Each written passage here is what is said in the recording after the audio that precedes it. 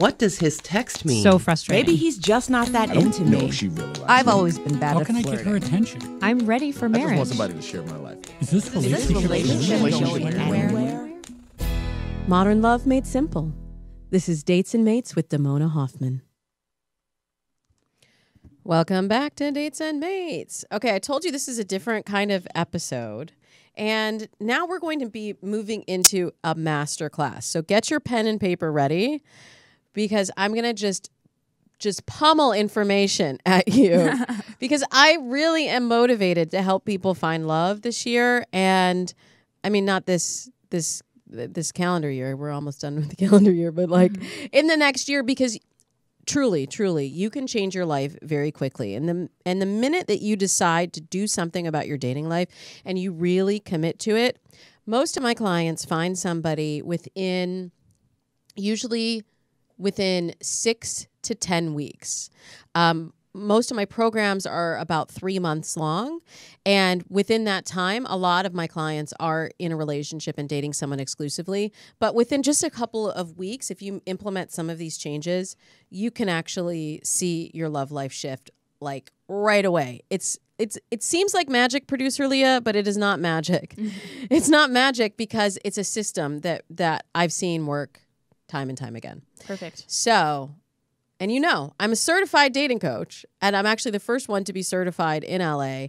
I started writing dating profiles in 2005. So, back when producer Leah was what, uh, eight? 11. Stop. Was it really 11? yeah. I initially put in the script back when producer Leah was 11, and then I thought, well, that's not a joke because she probably was 11, but you really were 11. Bless your heart. Um, so I've been doing this a while, and a lot has changed in the time that I've been doing this, but mm, and hey, a lot of it we've talked about on this show in the six years we've been producing Dates and Mates. And since that time, I've hosted two reality TV shows on dating and relationships. I've been the love expert for BET.com. I'm now writing for the Washington Post's Date Lab. Oh, see how I slid that in? That's new. uh, so you can read my work there in 2019. But I just want you to know I'm still at my core, Dem- Damona Hoffman certified dating coach. And even with so much change in the dating world, so much has stayed the same. And I'm continuing to track trends and review the latest research and assist clients through the process of making a match. And so now that's what I hope to do for you guys today. And you probably know this is cuffing season. We covered that a few episodes ago. Go back and look it up if you missed it. And the pressure of the holidays really brings up a lot of uh, anxiety around finding a relationship. With the, the new year coming up, so many people come to me and say, I have a New Year's resolution. I want to find a match. And I want you to have all the tools to date differently. So, first, for those of you that are sort of on the fence or think they might have it figured out or think they might find someone in the next couple months magically, I want to just do some objection handling for anyone that's resisting this. Producer Leah, you're you're collect you collect the emails. Yes. You know what people say is the reason that they're single today. So hit me with a couple of the most common reasons that people say they're single. Okay. Um, one is that dating is just so much harder today. dating is so much harder today than our parents' generation, I assume. Um, here's the reality of it women have more choice in dating than they have ever had in history. Oh, if you go back even a couple of generations, mm-hmm. women predominantly married someone that was in their immediate area like local area like as in down the block down the street. You you only had the ability to meet someone through a, a direct introduction or through church or through school or through friends or in your uh, in your neighborhood hotspots. And now we have the ability to open up our dating pool to anyone basically in the world. And you have choice. You now that women also are able to make their own money they're not reliant on a man for to support their lifestyle. Wow. they can choose. You can choose. You don't have to be with whoever can pay your bills. You can pay your bills and choose to be with the person that's really right for you So just keep that in mind when you consider how hard dating is today. Just think of how much harder it was to just swallow your your your pride, swallow your ambition, swallow your desire and be with someone for convenience or for your livelihood and not for love. Once you consider that, I would say that this is actually the best time ever to be single. And we're going to talk about profiles in a little bit, but most profiles online really suck.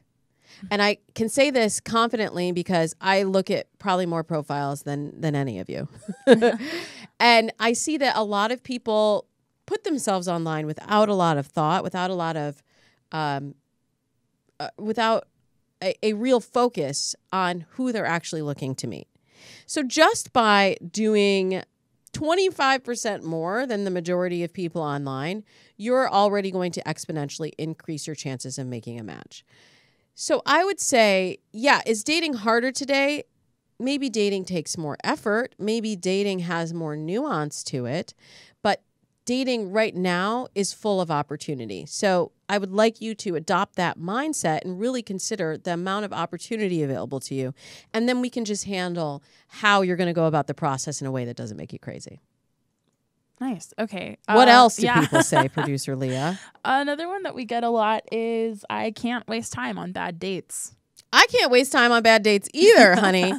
uh, look, it's only a waste of time if you're wasting your time. Right. Um, I know that was a weird way to say it, but basically, screening dates is key.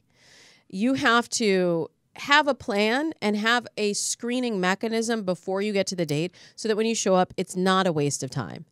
But here's the thing for you you also have to show up 100% when you have a date.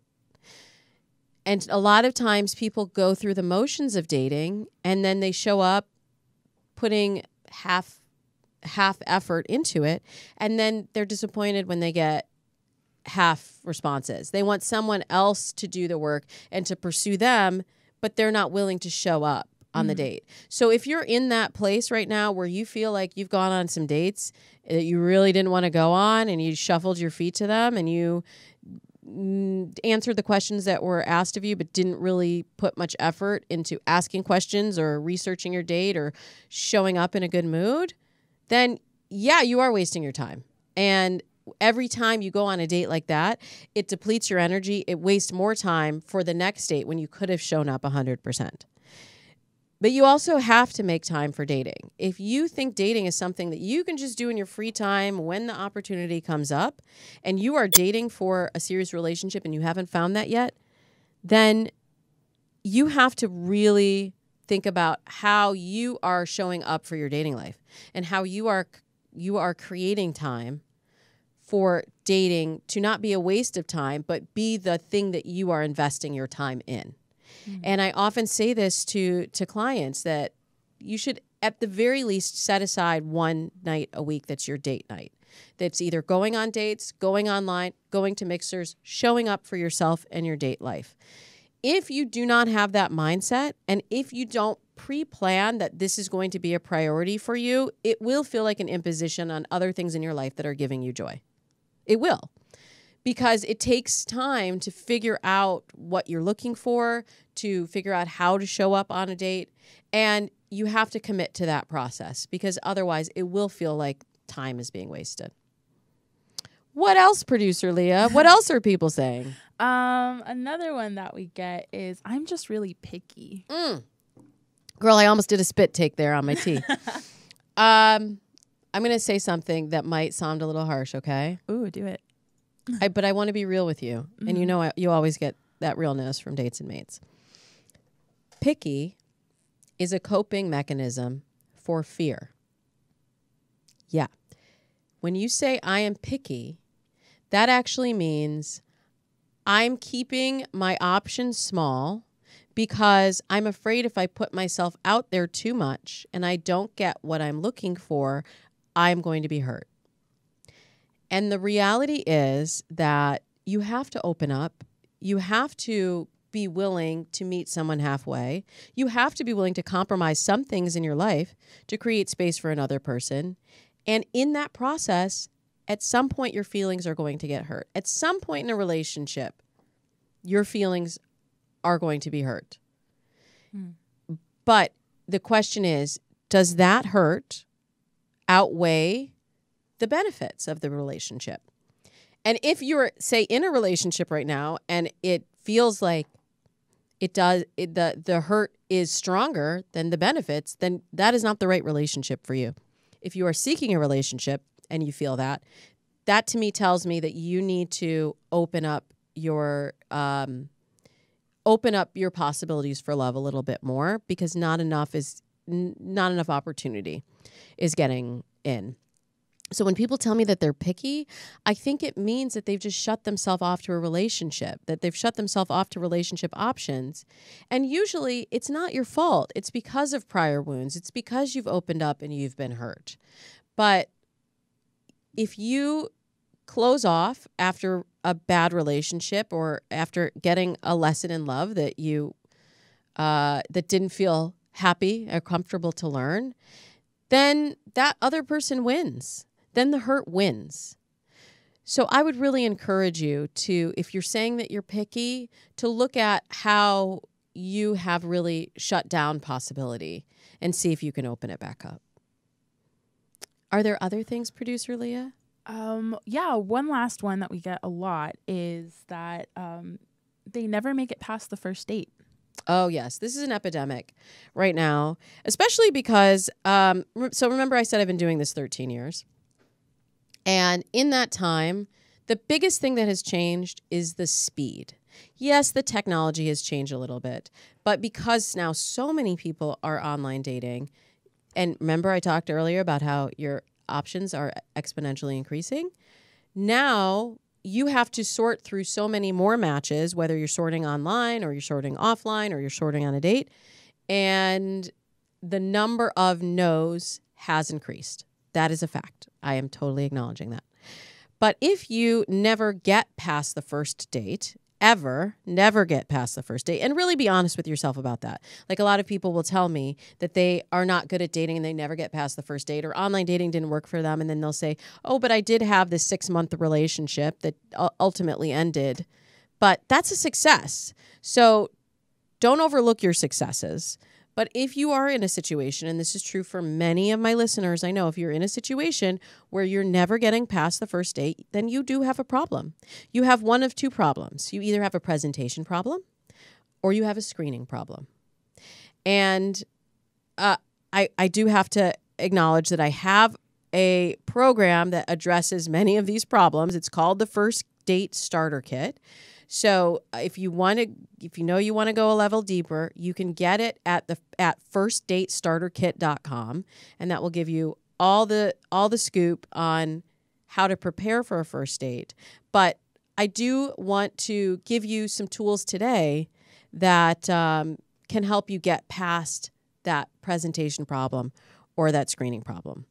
Okay, so now, producer Leah, that we have objections out of the way, let's talk about how to address a screening problem. Okay.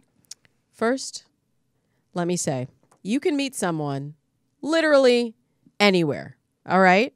If you are open to it. And my clients who are dating online are more successful at meeting people offline too. I used to have a lot of people that would come to me resistant to online dating, and I have many tools and techniques, um, and many of them are in the first date starter kit for meeting someone offline. But the reality today is that most singles are on a dating site or a dating app. So if you are closed off to that, then you are automatically decreasing your chances of making a match. And it's also a wonderful practice ground for meeting someone. So I would really consider online dating because it's going to give you the frequency and it's going to give you the skills to be able to meet someone online, offline, literally anywhere. But here's my question Do you truly know who you're looking for? This is the biggest issue that I see, um, and the biggest game changer for a lot of my clients. It's like when you begin any new project, what do you do? You set goals. You draw a picture of what you want that project to look like in success. You don't hope and pray that the project works out. You do a budget. you don't uh, just go into it having no idea what the possible outcome would be and saying, well, we'll just see how it goes. And yet, so many people say in love, well, I'll just see well, how it goes. And if it happens, it happens. But I'd really encourage you to date more strategically. So, today I'm going to lead you through an exercise that will help you identify your ideal mate. It helps if you can record your thoughts. So, if you are in a place where you can write, you, I'd like for you to pause the podcast now if you don't have a pen and paper handy. Pause the podcast and go and get a pen, pen and paper so that you can write down some of these things that you're going to discover in the next few minutes. Okay, now we're moving into our ideal mate visualization. So, first, let's get quiet. Just quiet the chatter. Quiet the replays in your mind of what happened last week on your last date, your last relationship, and just place yourself squarely in the present. Now, I want you to think about the kind of person who you want to have in your life. Now, picture yourself on a perfect day in the life of your future self who is in a relationship with a dream partner. Okay? Do you see it? Do you see yourself there in the future with your dream partner? Now look over at that partner and really see them. And I want you to ask, what does this person look like? I want you to figure out what are the most admirable qualities in this partner? And then sit for a moment and think, how do you feel? Really feel it. How do you feel when you're with them? How do they treat you? What aspects of your relationship are really important to you? And dive into that feeling of what it's like for you to be in this relationship. Remember, we're in the future. You're in your fantasy world, so there's no judgment here. Put all of your hopes and dreams and expectations of what you want that dream relationship to be in your fantasy right now. Now, let's go deeper into the qualities of this partner. Don't focus too much on the material or physical traits of the person. Focus more on the type of person that he or she is. Are they generous, sweet, intellectual, artistic, detail oriented, affectionate, ambitious, or fearless? What are these qualities of this person? What are these values? Are they family focused? Are they introspective, loyal, outgoing, hilarious, heartfelt? Let's go a level deeper here. We know you have to have attraction to them, but beyond that, who is your ideal mate? Now, most of the people who come to me first say attractive, successful, and funny, but I want you to push beyond that. What does funny mean to you? What does successful mean to you in a partner? In your mind right now, I want you to design the life you want and the partner who would fit with that life that you want to build. And try to write this without judgment of this person or of yourself for wanting what you want and needing what you need. No one else has to see this list, so you don't need to censor yourself or reach some minimum or maximum number of qualities. Just write everything about this must have ideal mate. And you can pause the podcast here if you want to take a few more minutes to really write out this narrative. This is what I have my clients do. I have them write an entire narrative. Sometimes it's a page, two pages, three pages, placing yourself six months or a year in the future in the life you're living with that perfect dream mate by your side. So now you have your vision of your ideal mate. And I want you to translate this into very clear qualities. Okay? We're going to write down the top five qualities that this mate would have. Okay, remember a moment ago I threw out what some of them could be, but I want it to be five qualities for you. The five most important qualities for you. No interests. I'm not talking about interests. I'm not talking about this person is is also big into sports or music. Please don't list any bands. really think about the qualities and the values and who this person is at their core. Five qualities. Do you have your list? Okay, now here's the hard part. I want you to cut one quality from this must have list. I know it's tough, but what are the four most important qualities in this person that you wish to meet? Okay, you got it? You have four qualities? Now, I want you to cut one more. Hone in on just the three most important qualities of your ideal mate. I know it's tough, but you can do it. We just need three must have qualities on your list. Okay, now you get one deal breaker. We're focusing on the positive, not the negative. So I want you to write the one quality that you cannot accept in a relationship. This could be that they do not share your faith. This could be that they are uh, inconsiderate. This could be that they smoke.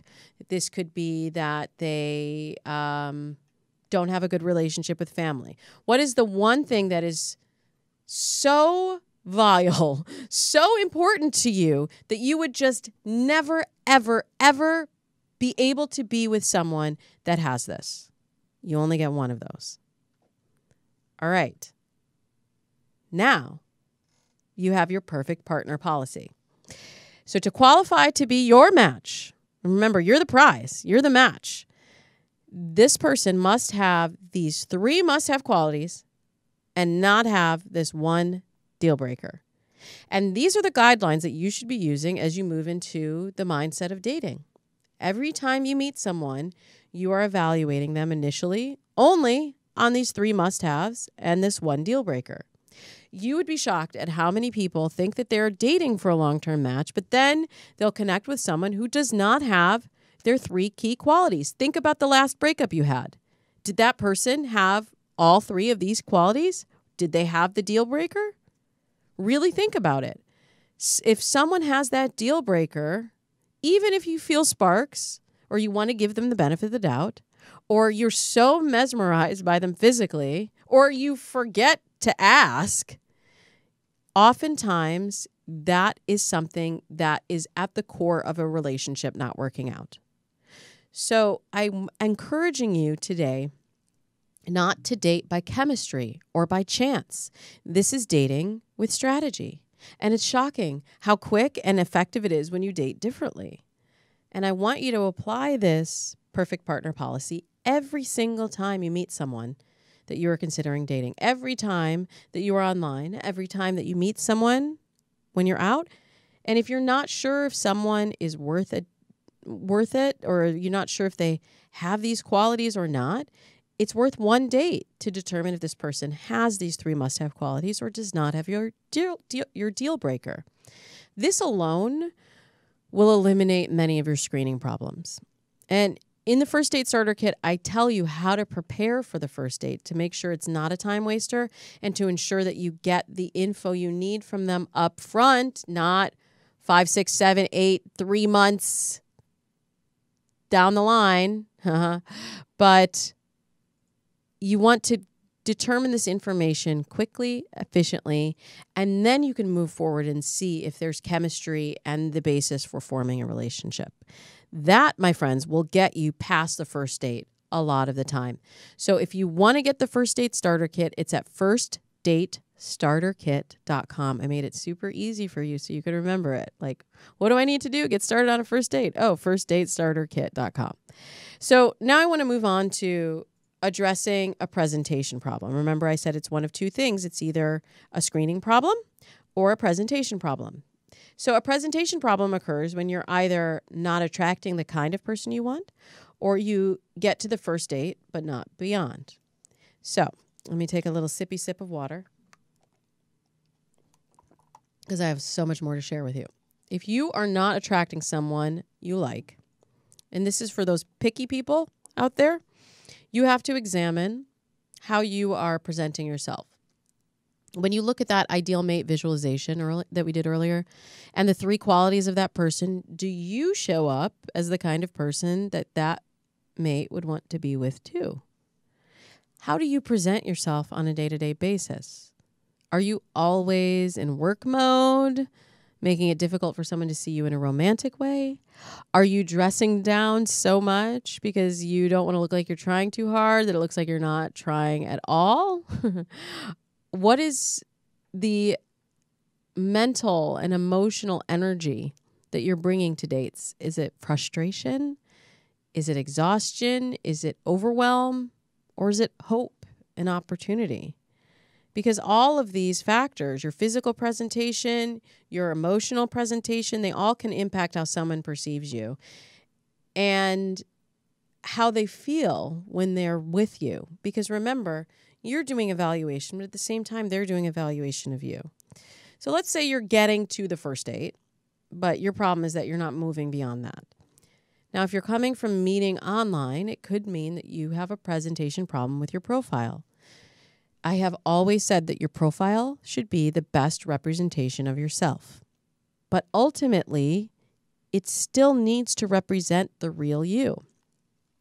So if you have photos that are more than a year old, if you're using filters, if you're strategically cropping them, and if you're changing your appearance to make your profile more swipe worthy, but then you know that you'll present differently on a date, you're doing yourself a disservice. Right swipes, winks, messages online, all that means nothing if you're not moving forward to the relationship that you want. So rather than trying to be all things to all people and get as many matches as possible, think about curating your profile. Some of you have heard me say this before. You're the curator of the museum of your life. Your profile is like the museum of your life, right? You don't want to put all of the pictures up. You want to choose the ones that are targeted for the people that you are looking to meet, the match that you described in your ideal mate visualization. So just take your ego out of it for a moment and instead date deliberately and with purpose. It's not about quantity, it's about quality. So many times people say, Well, I didn't get that many messages in my inbox. Well, how are you going out and searching for messages and making connections with not just all of the people, but really the right people? Now, you have to get out enough to have options and see what you like. But going out three times a week with people that you know you're probably not going to match with and going in with a chip on your shoulder because you feel like you've wasted so many time so much time before that's just depleting your energy for the next date when you really need to be present and open. So we're just scratching the surface here with uh, with dating strategy if you're really ready to go deeper and learn about how to find dates, how to screen dates, how to prepare for dates, and everything that you need to be ready to move beyond that first date to the second, to the third, and onto your future and onto this dream relationship, this ideal mate visualization that you created. And friends, I know it's possible because I've seen it happen so many times in the 13 years I've been doing this. I know you can have that thing. Even if it seems unattainable, you can have that relationship that you're visualizing, but it is going to take effort. It is going to take showing up mindfully. It is going to take some dating strategy to do it differently. So if you want to do that and you want to get to the flawless first date that I've talked about, then you can go to firstdatestarterkit.com and learn the exact steps that you need to get on a different kind of dates and have different luck with love next year. So, producer Leah, I have now. I I Mm-hmm. was that too much? Was I too harsh? No, that was great. I feel like people, we all need to hear what you said. I like to Very give a little tough love, Mm-hmm. humor, and tough love. But really, I want everyone listening to have their dream relationship, and so I am happy to give away the insights that I've I've gleaned from being a certified dating coach for this long, and uh, I hope that you all will will uh, take that